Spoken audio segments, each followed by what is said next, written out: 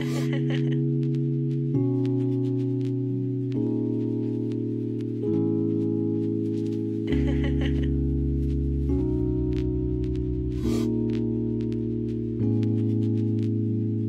so proud of feeding lumber, feeding lumber, feeding lumber.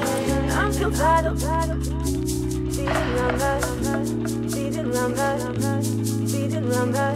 I'm so proud of feeding lumber, feeding lumber, feeding lumber. I'm so proud of feeding lumber, feeding lumber, feeding lumber. I'm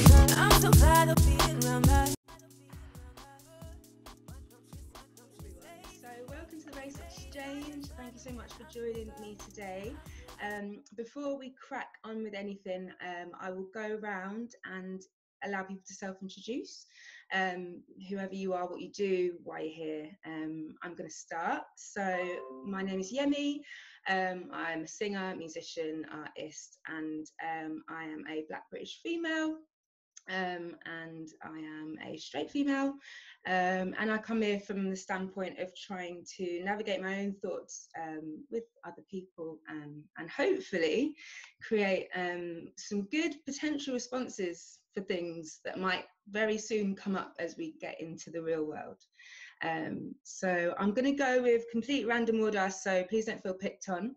The first person I've got is Emily. Um, so Emily, if you're right to introduce yourself to the group. Hi, I'm Emily. Um, I'm 30. I live in Glasgow and I have done for the past 10 years. Um, I'm white European, like white European heritage. I've got like French and Spanish in my family and British as well. Um, and yeah, I work as a musician and a singer um, as well, which is partly how I've connected with Yemi uh, in the past. Yeah, is as a musician. So, and I'm just here to yeah to to talk and to listen and um, yeah just talk about these things because there's a lot to talk about and a lot I want to get out and a lot I want to hear about. So yeah. And next, Emmy. Hey, uh, I'm Emmy. I'm cisgender female. I prefer she, her. Uh, I am mixed race, and that's how I choose to identify. I'm half Scottish, half Tunisian, um, hence the curls and also the freckles. Um, I'm here sort of just to hear other people's experiences, to kind of maybe share a little bit of my own, um, and to remember to stay in my lane. Excellent, thank you. Um, I've got Roxy next on my screen. Yes, hello, I'm Roxy. Um, I am from Scarborough, which lots of people have heard of, but um, maybe haven't been to it. It is probably the whitest town ever, so I have grown up in the whitest background ever. Um, so I'm kind of here to absorb some different things from the echo chamber that I live in, really. Um, and also, I have been applying to join the police, um, and it seems like a terrible time for that. So I'm kind of interested in hearing people's um, opinions and experiences around that kind of thing. Great, thank you, Roxy. Um, Bigger. Hi, I'm Bigger. I'm not going to say how old I am. I'm straight uh, black male. Uh, I grew up in South London. I currently live in Suffolk. Uh, and I'm a vocalist, spoken word, poet slash trade unionist. Um, and I'm here because I got stuff on my chest that I want to go. But I'm also open to listening to other people's experiences. Excellent, thank you. Mimi next. Hello. Hi, um, my name is Mimi Gold. Um, I am, I guess, an open-minded. Um, I am, I guess, an open-minded human being, um, a black one. Um, my parents are African and Jamaican, Gambian. Um, I am straight so far in my life. I'm 30, so we'll see where it goes. Um, I am a lot of things, um, but currently I have a clothing brand named Mimi Gold. I also DJ. I also do performing at the same place with Yemi at Albert Schloss. Um, basically anything that I want to do, I find out a way to do it. Um, and I guess I'm here because it's been a very strange time for everyone anyway. Um, and having to sort of relive, you know, past experiences or looking at experiences with your friends and seeing it a completely different way is quite a lot to deal with on your own. Um, and there's only so many friends I can speak to about it. So, you know, I'm interested in the wider world and what other people have to say as well. So I'm here to share and I'm here to hear. Here, um, uh, Roisin. Hi, yeah, uh, I'm Roisin. Um, I'm white, British, Irish. I am from Manchester, but I've been isolating in a place called Chorley. Um, and yeah, uh, I'm here because obviously I want to listen and learn and just talk to people that are outside what I've, a term that I've been hearing uh, that's been thrown around recently is my echo chamber. Uh, and just hear different voices and other stories and yeah, listen. Great. Thanks, Roisin. Andrew next. Hey, I'm Andrew. I'm probably older than bigger. I'm not sure. I'm 54. Um, so, um, I'm an anthropologist and a university lecturer, which is part of my connection with Yemi, because Yemi studied anthropology at the University of Manchester. Um, I'm here partly because, you know, we've been here before, but maybe there's an opportunity um, to change things uh, on the ground as opposed to just talk about things.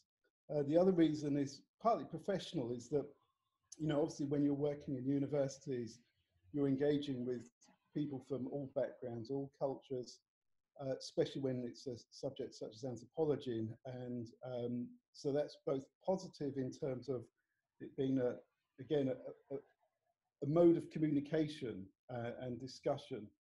Uh, but also, you know, it's a very complex issue um, uh, when you're you've got 80 people in a lecture theatre. Um, not everybody has the same backgrounds or experiences, and it's how how can you create um, an engaging discussion? So that's why I'm here. Thank you, Andrew. Helen next.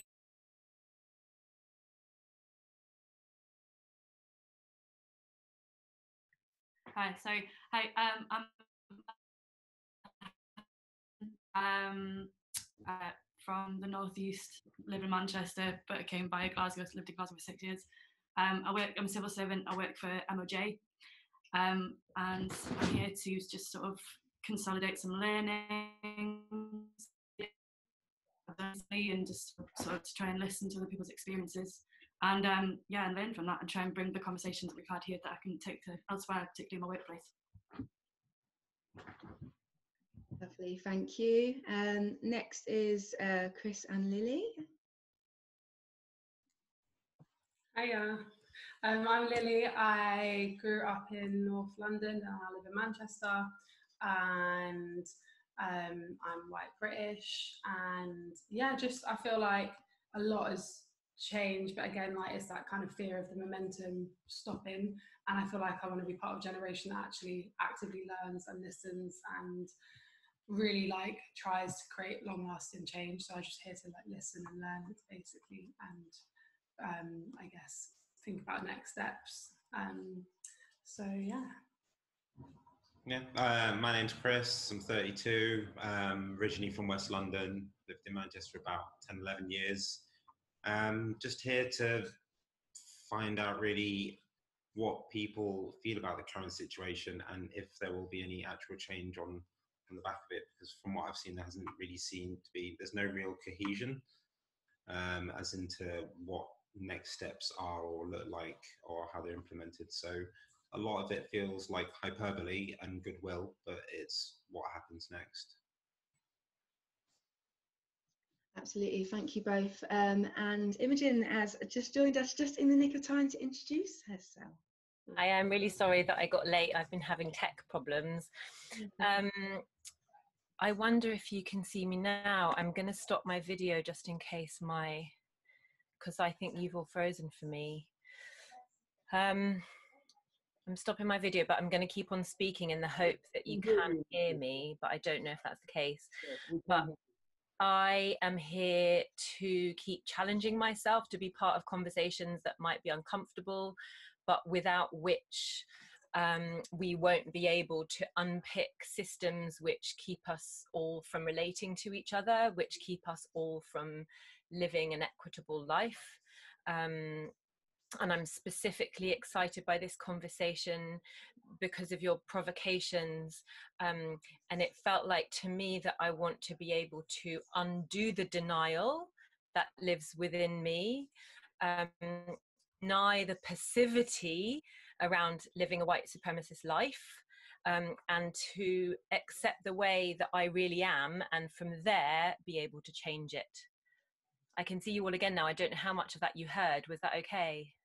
Yeah, definitely much better without the um, video. Um, we did see a lovely face at the beginning though. I'm glad we did.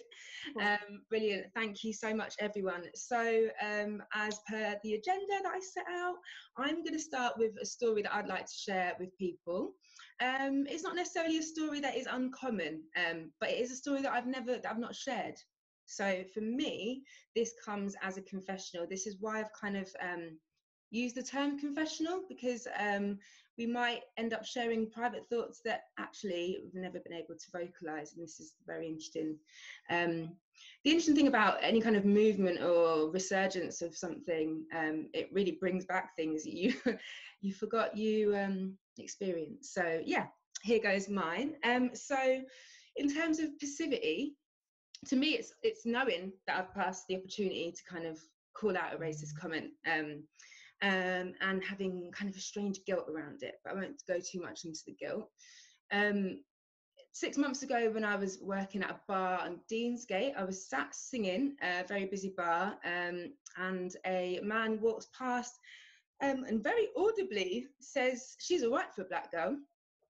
And I'm literally mid singing. I'm just like, oh wow like it almost happened and i was like wow that's how strange and it get to the end of the song got to the break and i kind of like set in what he just said.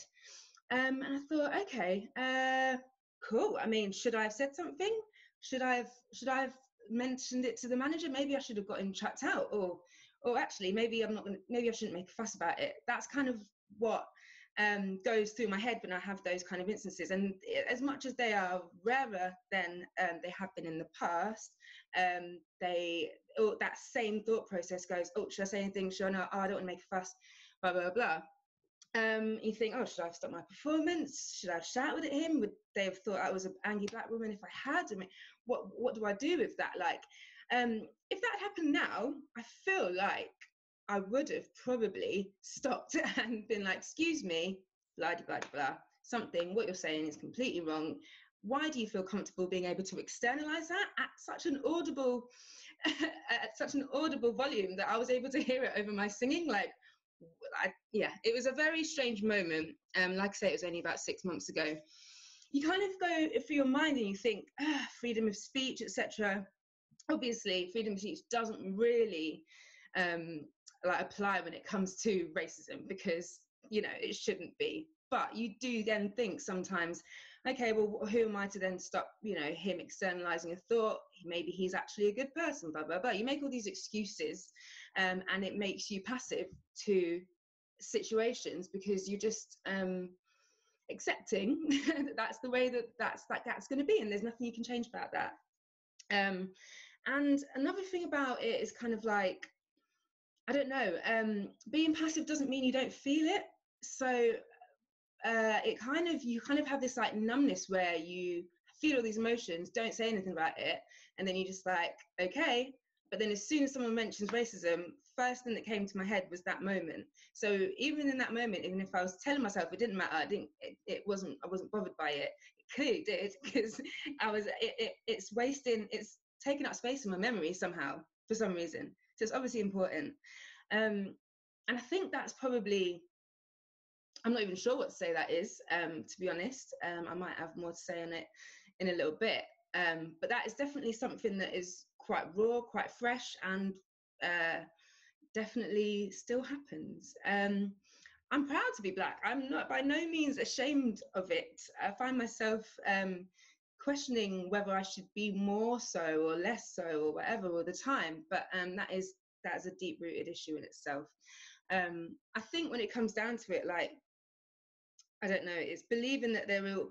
I think a lot of the acceptance of racism is believing that the genuine thought that I believe that there might not ever ever actually be a world where that isn't a thing. Do you know what I mean? Like you generally just think, okay, that's just the way it is now. Cool, it's fine. But then you're you're reminded that you're part of a constant circle, a joined up thingy of this is just one instance of things that might be happening in a thousand places right now, and that's one level of racism that could be happening. The next level could be actual, genuine shouting and abuse, and that's happening to thousands of people somewhere else. And you just realize that everything that you're experiencing is connected to someone else's. Um, and you just kind of think, well, we've not come far enough yet, have we really? Um, and at the end of the day humans can learn anything um, and there's just no excuse anymore so um, there you go that's kind of my personal story um, i don't know if there's before we kind of move around to everyone um, you don't necessarily have to speak out on what i've just said um, it might just be you guys bringing your cases to the fore first but does anyone want to say anything on that at this moment does anyone have any like questions or any words that kind of sprung to mind when when you heard that, feel free to kind of popcorn shout it. I feel like everyone's fairly res- respective in this in this space. Yeah, I, I, I can definitely identify. For, for me, it's a little bit different with the passivity because it's like challenging it like kind of there, there's a jeopardy in challenging it because like you will obviously get the label of angry black woman I will get the label of aggressive, threatening black man, and that could mean security, that could mean police, that could mean a fight. So there's all those sorts of things running through my mind whilst I'm thinking about should I say something about this thing or or, or, or should I should I just let it go? So I, yeah, I just wanted to vocalize just that the jeopardy aspect of of like challenging it when it comes out, and also the sheer surprise like a lot of a lot of the time when it's happened to me, it's just been like it's taken a minute for my brain to just hang on. Did, did, he just said something racist to me? Like you know what I mean? Like you're just not expecting it like in in in, in your daily life. So yeah, I was going to say that. Thank you, Viga. Um, I don't suppose, I mean, because I was going to just kind of go around again in maybe a similar order to I did, that I did to the introductions, but did you want to maybe go next on, did you have a story of confession, something you wanted to share? Did you bring anything? Yeah, I mean, there's there's lots of um, I can in terms of passivity, I can go right back to like being eight years old and joining the Sea Cadets and being in like the I don't know if you guys know what the Navy uniform looks like, but it's like a dark navy blue uh, suit with like a white hat. Um, and me and my brother, we used to get called pint of Guinness, and like we both knew that was a racist thing, but we were the only two black boys there. So we kind of we laughed and um, we we went along with it. And I remember when we went home and I went home and I told my, my mum about that and the disappointment like on her face, you know, that we, we didn't challenge it is, is something that um, I, I will never forget. So in terms of, you know, the, the guilt around passivity, it kind of started um, from young. But after that, it was always very clear to me the first time I did challenge it and I did meet up against, you know, security or like a, a um, I had a, a, a, physical response to my challenging um, a racial comment um, made to me. Um, it was always it was always clear to me in my life that that's the decision you're making. Like if you if you challenge it, particularly if it's a guy um, like there's a likelihood that it can get physical. And if it does get physical, because I'm the six foot black guy, I'm always going to be labeled as the aggressor whenever the authorities turn up, kind of thing. But um, something that happened to me uh, recently, that I did challenge was um, I was in hospital for an appointment, um, and I was there for quite a long time having treatment, and they were bringing around refreshments, so like biscuits and tea and stuff, and they were asking like, you know, what kind of biscuits you you wanted, and uh, I asked for bourbons. So the guy went and got some bourbons, and he come back and he said. Um, yeah, me and my mates, like, we call these Jamaican custard creams, and then just walked out of the room. And I let him walk out, and I, I it, like, most of my mind was like, I'm just gonna let that go because it's just hospital. But then there was just part of me that was like, I'm sick. I'm absolutely sick of like letting it go. And I called him back, and I was like, Do you really think I need to hear that? Like, I'm I'm in hospital. Do you think now is is is is, the time to be making like um, racist jokes to me. And in the end, what I feared would happen is exactly what happened. Nurses were crowding around me, telling me to calm down, telling me to not be aggressive, and we're gonna have to get security if you if you continue. So you know, like yeah, it's difficult, man. It's hard. I, I, I, I don't know. I, I don't think that will stop me challenging it now, and I think that's just because I'm older and I'm more comfortable with myself and I'm more I'm more confident and I'm I'm actually ready to take on whatever the consequences are.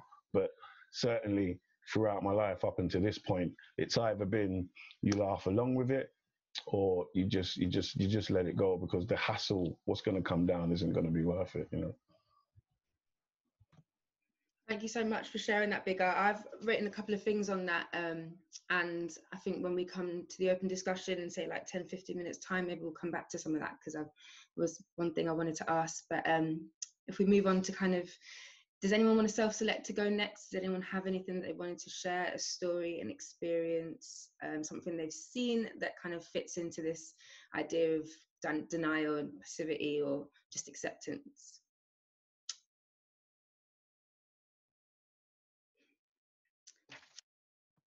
Emily, thank you. Yeah, great, thank you. Unmute yourself. Yeah.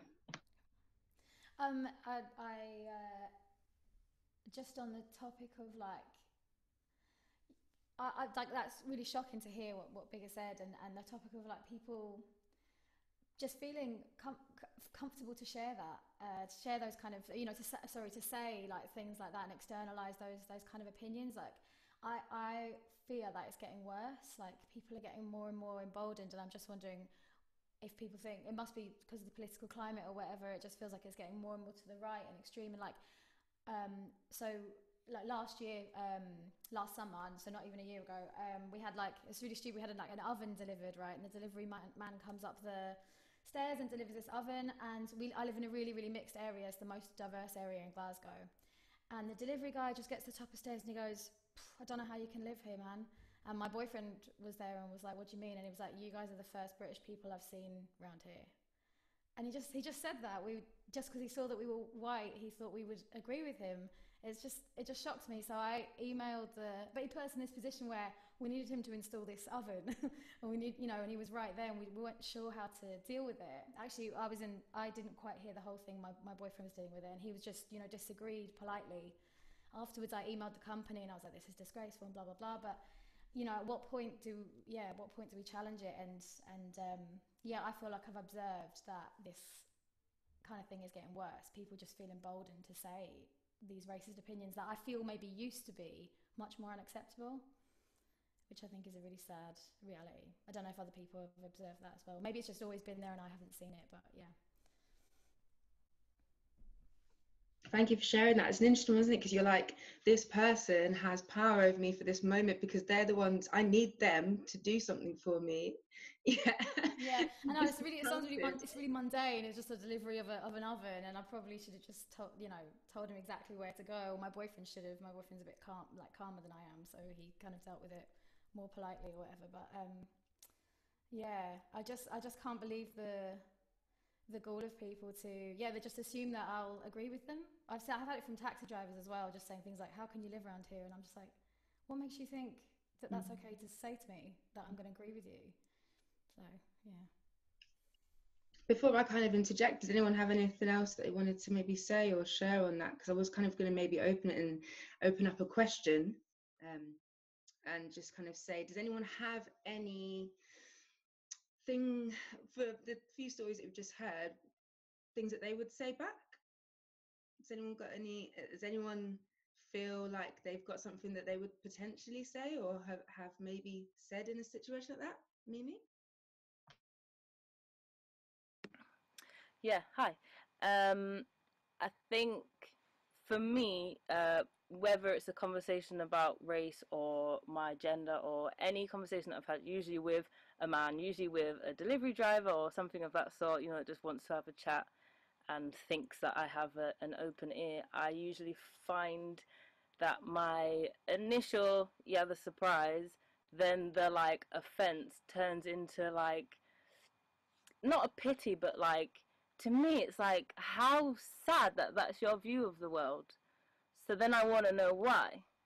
Um, if I have the time, or if it's someone that I I think is worthy of my energy, then I will have that conversation, and I'll along the lines of why do you think that? Do you know what I mean? I want to understand where you're coming from, why your view of the world is that small. Um, let me open your window. Do you know what I mean?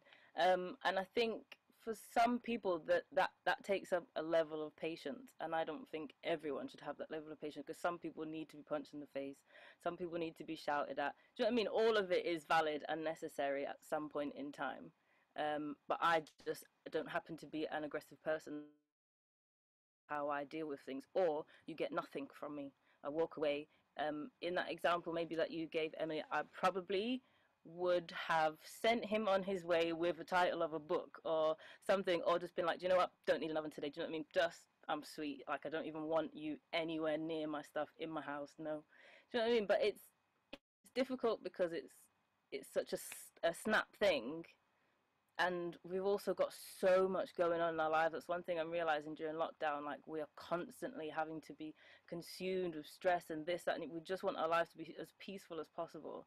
So if you're faced with something like that, and and say for example in your case, Emily, the offence might not necessarily be personal. Do you know what I mean? I get it.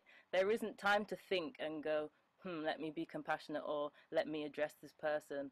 So there's a lot of reasons why things don't get dealt with, I can see, um, and I can see a lot of people feeling bad about it, and it makes me feel bad. But um, I feel like the uncomfortable bit is like we're here. Do you know what I mean? Like let's dive in. There's nowhere to go. So um, yeah, that's my piece. Peace. Thank you. Thank you, Mimi. I can't remember who had their. Was it? Did Emmy have a hand up next? Did someone have their hand up next? Ah, Roisin. Sorry, please go sorry, I'm rubbish with technology. Um, yeah, I think if I, I, I was just trying to think of similar situations like that with a taxi driver or you know i mean the, these professions that you are kind of stuck with someone you, you're getting a service from them uh, you you feel like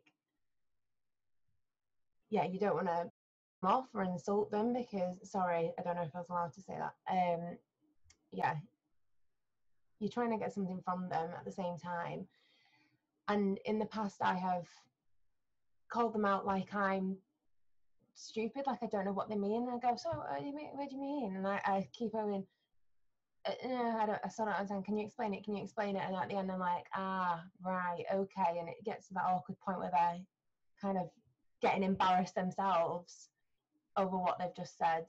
But I completely agree with what everyone said. It is difficult to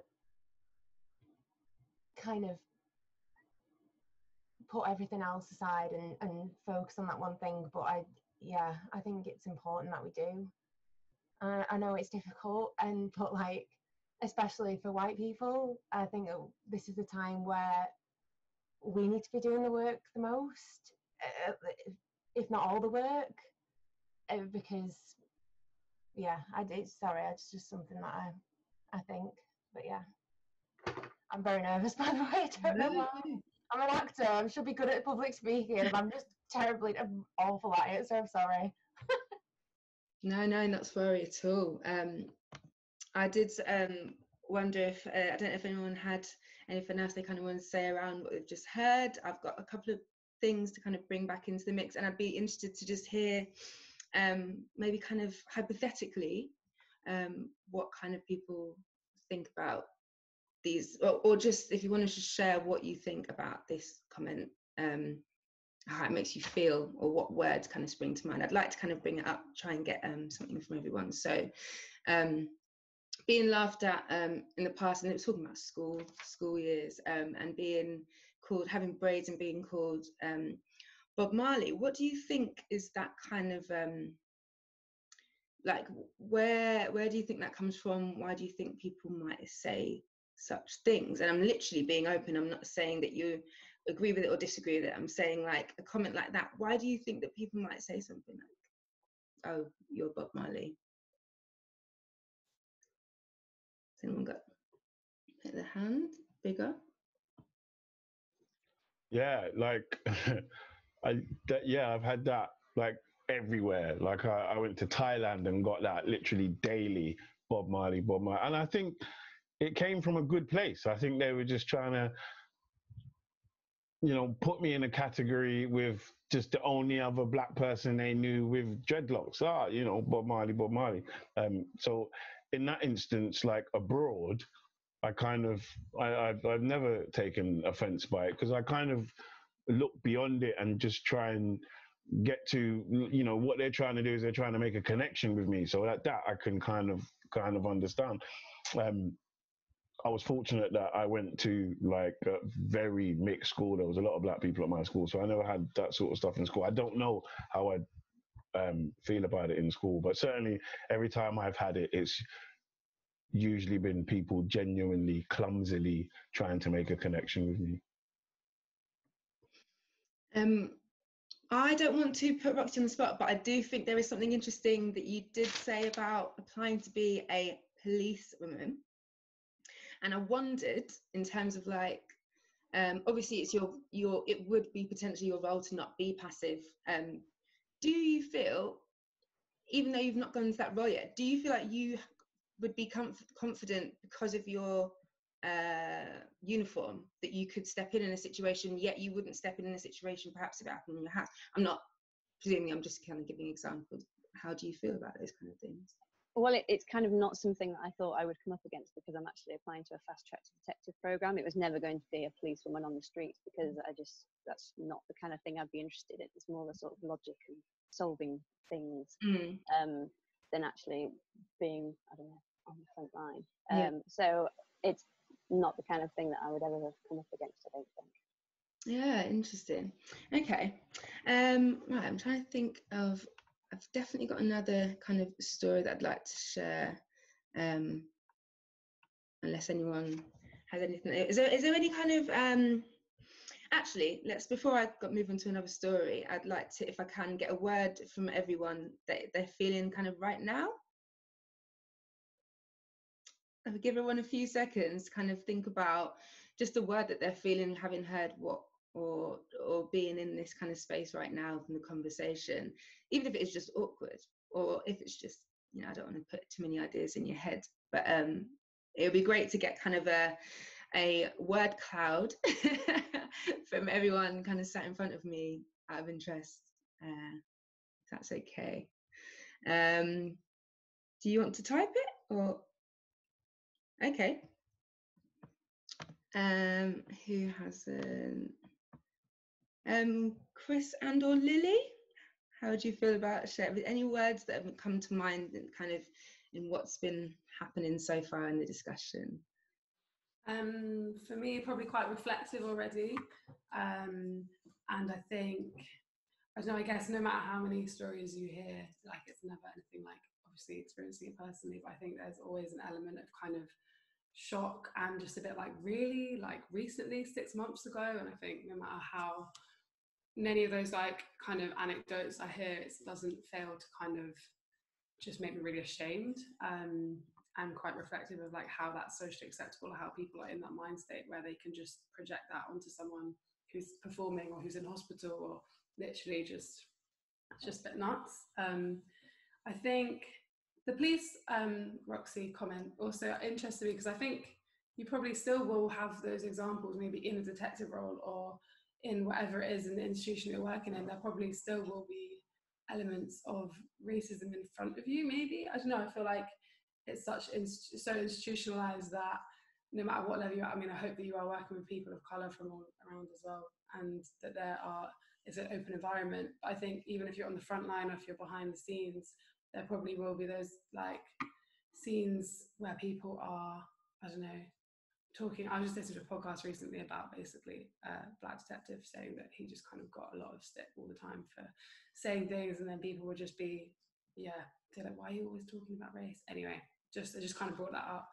Um, but yeah, no, reflective and yeah, just interested.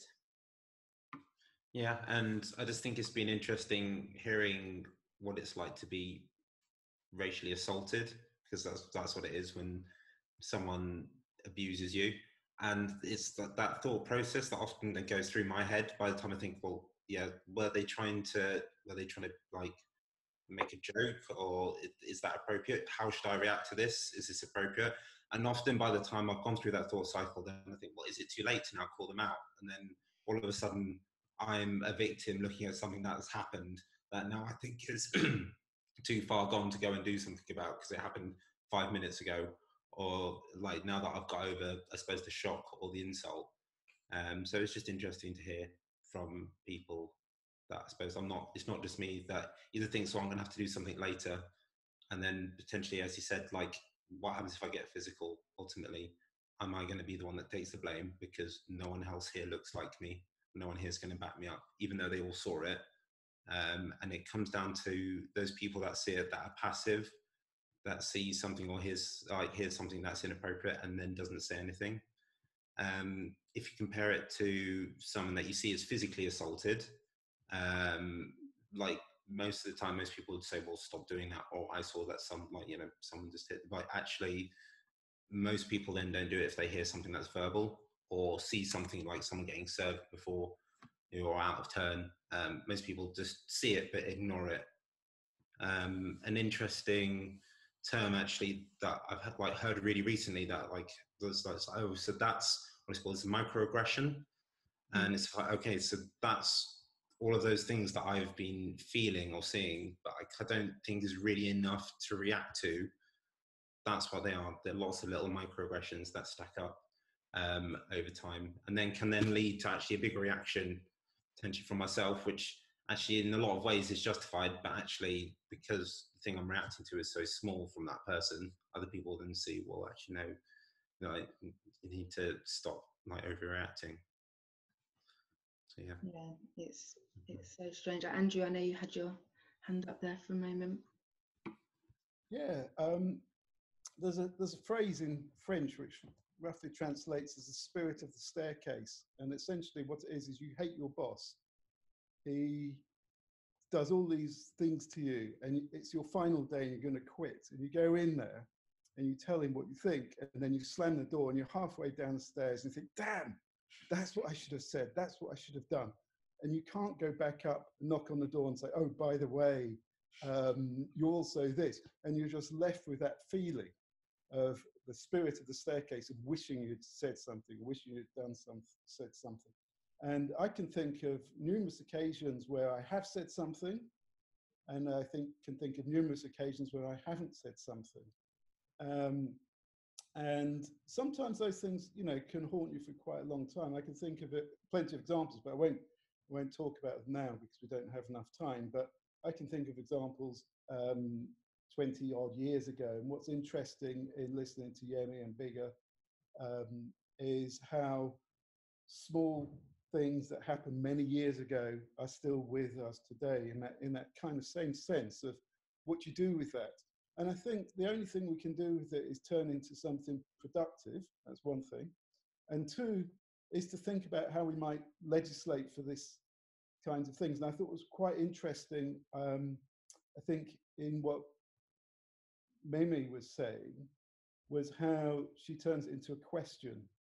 Mm. Uh, and so that's always, you know, getting somebody to think. And, you know, they, they may or may not engage with that question, uh, but it's, you know, I, I think asking, asking a question demands some kind of response, and hopefully it won't be just a default knee-jerk response. Hopefully, it, and and someone else can't remember who it was said they ask questions again and again and again. Um, so, you know, it's an opening to a kind of dialogue of a sort.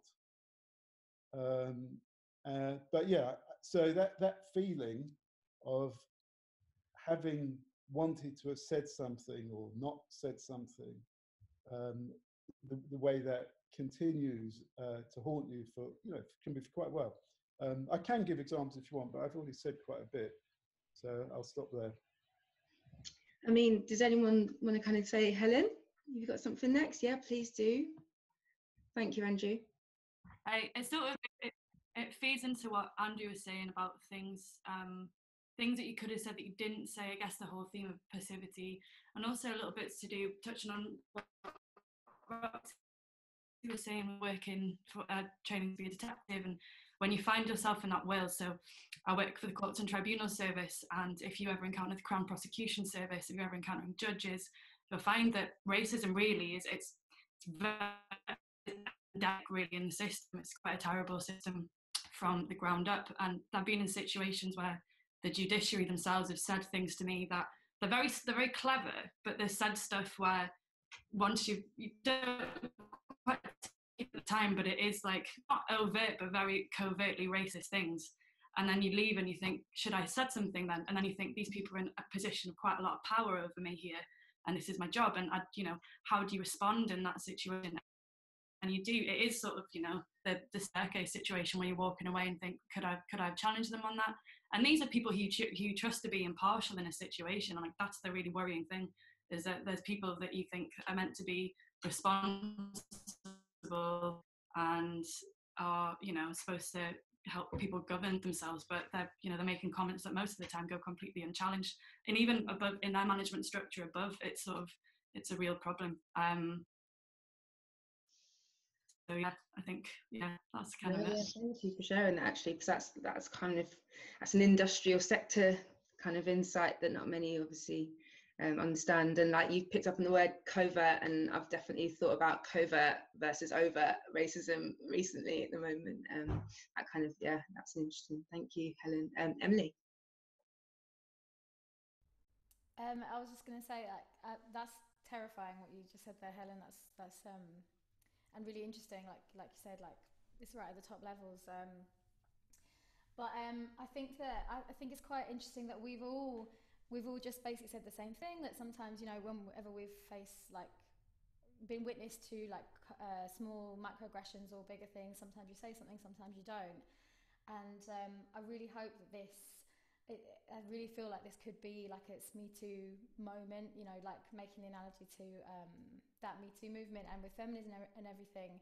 You know, a couple of years ago, I sort of almost planned my responses to whatever situation that I that I face, and now when I'm faced with a sexist situation, I know exactly what I'm going to say, and it doesn't matter if it's small or big. Like I, I do say something, um, and with with this i guess we're still learning like how to how to respond and what even these microaggressions actually are. And like oh my gosh i witnessed this i didn't realize at the time but that was a racial you know racist thing or microaggression. So hopefully like i feel almost quite hopeful after this, just having this little conversation that um we'll know what to say and we'll know where to recognize it and actually not to be afraid to stand up to at least like definitely for white people to stand up to um a racist joke or something that someone says that is careless and to point that out so that's like like little hopeful thought. Thank you for that. Um, yeah, it's a strange one, isn't it? So it's like you feel like we're, we're only why are we only just um, I don't know. There obviously are. There is going to be a lot of books and and things around what people can say, but not everyone's got the time or the capacity to read a full book on how to react when something racist happens to you. And um, this is why um, this in itself is so important because I've already thought like no when um Chris was just saying about like what you do and don't um, say after I would I think if I'd have have to relive that moment I might just overtly be like no. And, and then get their attention and say no no. And then they can turn around and be and say what? And then you've got that moment and you have to kind of take you know words might fail you or whatever but I think simple just grabbing their attention that moment so that they remember that it happened because it could be the case that they don't even remember that they said that because it never got pulled up. And uh you know um who knows what, what that person is you know doing now and they but they're in my memory and i, I wish they weren't um did anyone have anything else they wanted to share while we're kind of yeah Rishi? Hi, I just wanted to ask about the situation. Um, was it at Albert's? Did you say where the story? um my nice was actually no it wasn't it was just a, it was a bar on deansgate um obviously because as when you're doing gigs you're hired in and it's not like a, mm, sometimes a residential spot where you where you're there constantly do you feel at that particular bar that you would have been supported by the staff is that it or the management team um is that something that sometimes you have to think about Yeah, absolutely. I think they, I, th- I think you know they would have supported me because they would have had to because under kind of maybe employment, you know, related kind of situations, they can't be seen to be not um kind of tackling these issues or bringing them up. And you know what? I, I, don't doubt that maybe that person would have probably got chucked out, especially if I'm the one working there.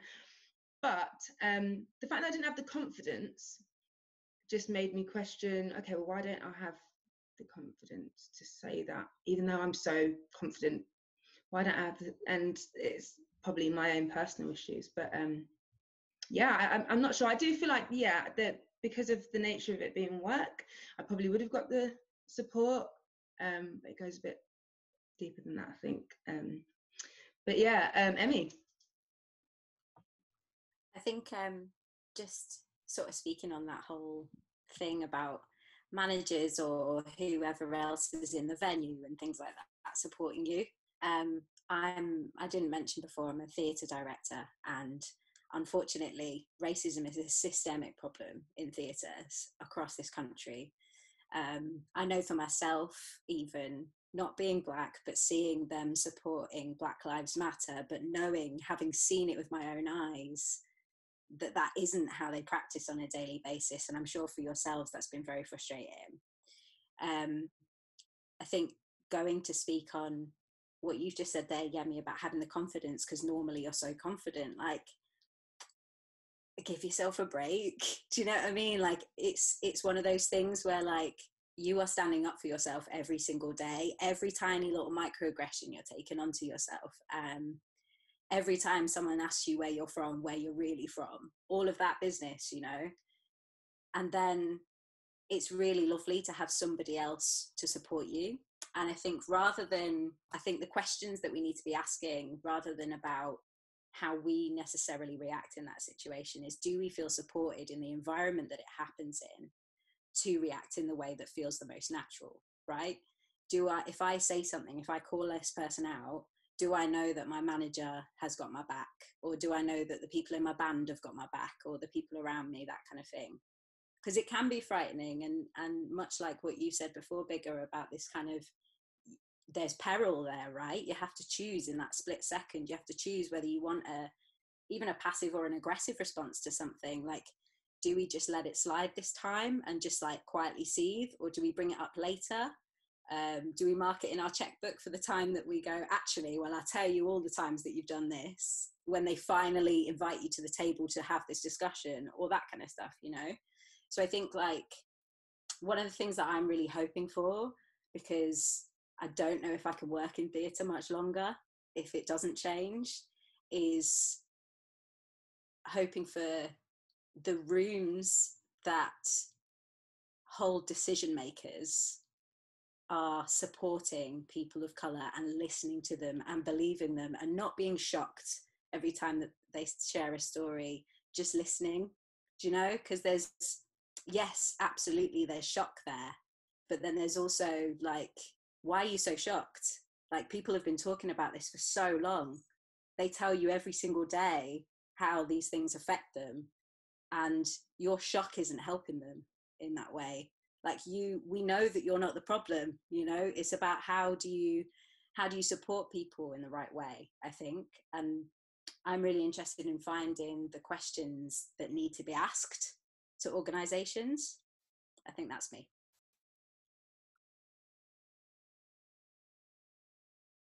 That's great, thank you. I think um, just in like um, reflecting on what you just said, but that the key word is questions. Like, what kind of questions can we bring up to the people that we are around or work in on the environment with um, that will get us to, you know, that will support? I mean, I guess we're talking a little bit about policy and stuff, aren't we? Essentially, um, but that's what that is, that is the next step, isn't it? This all these conversations um, are going to have to lead to policy and legislation, like Andrew touched upon. Um, Big, I just saw your hand. Um, yeah, I just I just wanted to talk about the whole support thing because that that incident that I talked about in hospital, the double whammy of it, the triple whammy of it was not only did I get the comment, and then not only did I get bum rushed by the nurses and the doctors and being told to calm down, is that in the conversation after it, the ward sister said to me, "Oh, I, you know, I say to them." every time he says something like that, you've got to challenge him. And I'm like, how much racist stuff is this dude coming out with that he's still working here? And like, in the end, like, I'm in the position of saying, but there's minority nurses working on this ward that you're making them work around this guy. Like, why are you not tackling this guy? Like, so I've gone from victim to aggressor to savior, I guess. It, it was a weird situation, man. Like, and that's the NHS. So, like, what? Uh, yeah, I just wanted to just share that bit on the, the being, because it is really important that if you're going to challenge these things that, that you can feel like you have an ally that you can feel like you are going to be supported and i have never been in a situation where i've been able to challenge it and there's been anyone there who's been able to say yeah, no, you're, you're absolutely right. That is out of order. That that you you are absolutely right to speak up. Like that has never been the case. Yeah, and um, the kind of next step to that is then why do people feel afraid to speak up, even though your ally, um, people in the in the situation, uh, watched it passively.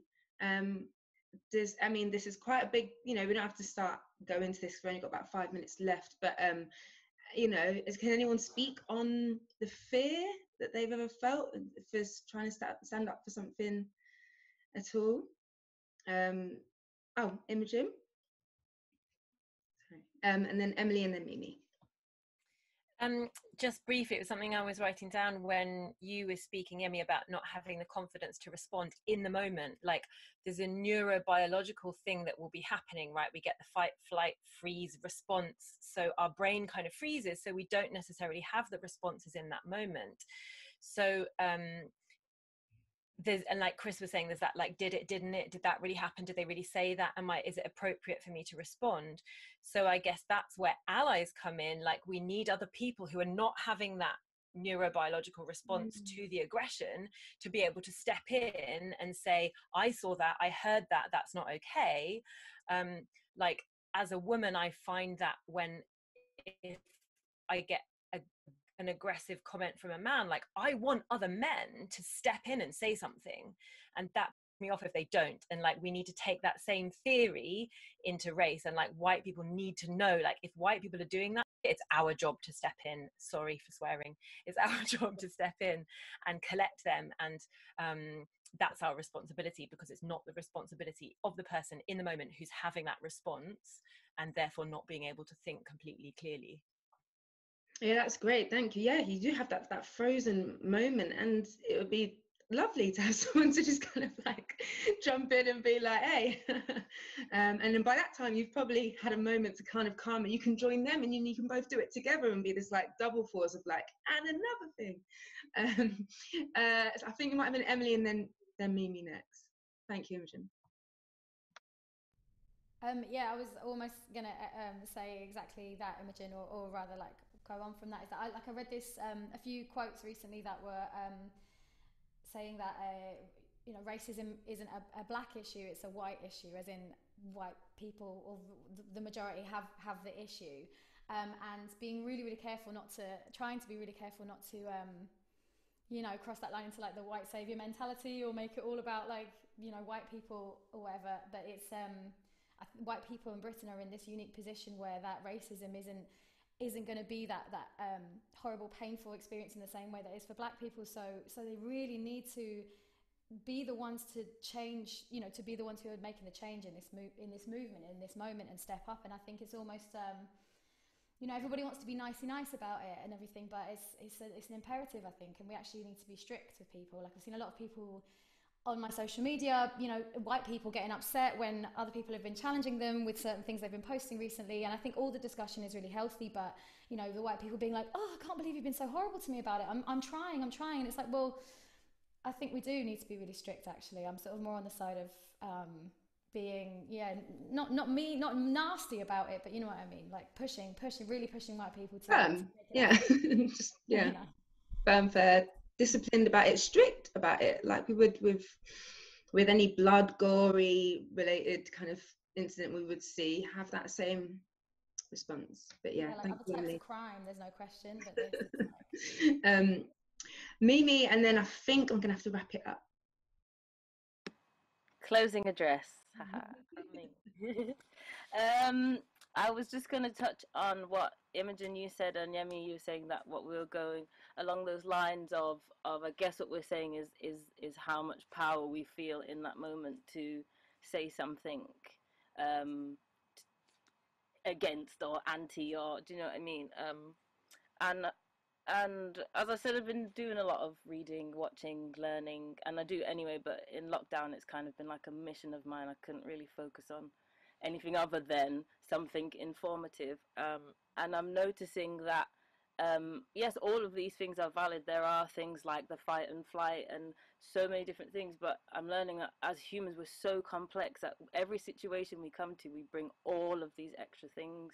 So there's the fight and flight thing that we have that, you know, these human experiences or human um, reactions that we will all share. But then you might have added things because you're a woman, added things because you're black. Do you know what I mean? You have your physical uh, limitations, all of these things, and I think um, the amount of power that we are allowed to develop in ourselves, just in terms of self betterment, time we have to think that we are powerless or we're insecure, means that also in these situations, we don't even feel that we are important enough to say something, whether it's actively or not, or consciously or not, that's there. So for me, that's always been a thing where because I could never be told what to do, I worked really hard on making sure that I can take care of myself because I don't expect anyone else to. And I fall short loads of times and I rely on people loads because that's how I was raised with a very like, you know, apron string mother. Um, but that's kind of why I broke away from it because I was like, yo, I'm to end up like breaking my neck if I keep living under my mum's skirt. Do you know what I mean? I got to toughen up.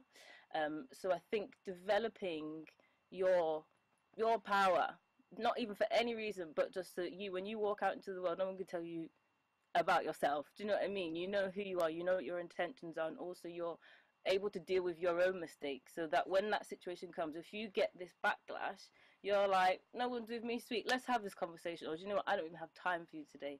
And it's a work in progress. And there's times when, you know, literally, I'm small. I'm not gonna go to this man. So say if I'm at work, I might have to find my own way of dealing with it. I'm going to make you look stupid on your own. And I'll stand here and do that and watch and laugh and walk away. And say if I'm at Albert Schloss where I feel protected, all the staff are on our side. But wherever I go, I make sure I'm comfortable with whoever's supposed to be in charge of me. And if I don't feel like I can speak my, mouth, my mind, my mouth, my mind, I don't work there or I don't be there or do you know what I mean? That's not an option for everyone, but I just want to say that it starts with empowering yourself and learning all the limitations that have been placed upon us so that we can remove them. That was it. Thank you. A way to end it. Thank you so much. Thank you, everyone. This has been great. Um, obviously, tentative, nervous around how this is going to go, but I think there just there was a spark at some point, and all the conversation and all the discussion came out, and it's it's just great to hear and see. And we're all in the same boat, trying to go one way, and some people keep trying to push us other way. But I think I think we have it. I think you know um, we're getting there. We're starting to get there um, in terms of the last few weeks. Um, but yeah, I just want to say thank you to everyone. Um, I was just I, I, know we had a few words um, to summarise how people were feeling. Just want to say these out loud in case anyone hasn't seen them. So we had connected, intrigued, activated, nice one, reflective, open, Um, I think that was it. So yeah, lovely little word card there for me to take back. Um, and yeah, so I will let you guys know in terms of um, when this will go out. Um, and uh, I'll have to kind of look back and kind of listen and review it and, and see. But um, I'm just really grateful that it's got off to a start. And hopefully, if I continue doing it longer term, I've got six sessions on booked in the moment. But uh, um, if I do more than this, then I'll get some of you guys back to kind of talk about maybe other smaller um, or bigger issues, you know, um, not too sure. But for now, I think that's it.